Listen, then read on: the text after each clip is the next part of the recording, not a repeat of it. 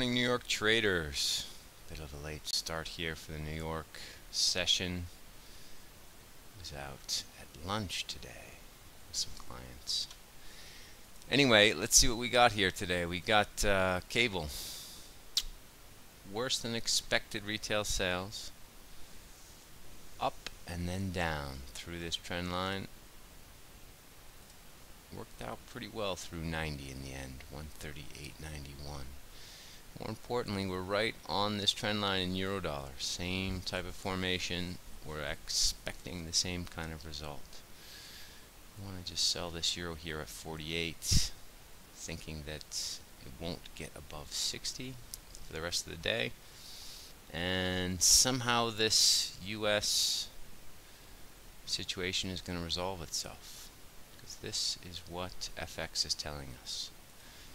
Dollar Swiss down to 35, now back up the figure. Looks like we're having a turn day in Dollar Swiss. Still early, a few hours to go left, but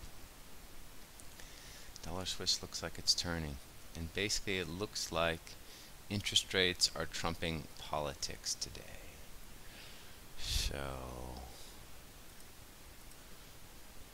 let's Let's see what else we have out there. We've got this Aussie, same thing. Through the highs, now it looks like we're turning. The dollar is turning in general. So in general, we're going to try and buy some dollars here, which is sort of against the political wisdom, but like we said, interest rates are trumping politics. Let's see what equities are doing. Absolutely nothing on this trend line I have to see. Bitcoin higher, about to break through this important area, 1233, and Ethereum not quite through 1100 yet, but when it does, this confirms the next bullish phase. Alright, short and sweet, we are buying dollars into this political mess here at Privateer FX. We wish you guys luck, and we will see you Monday at the European Open.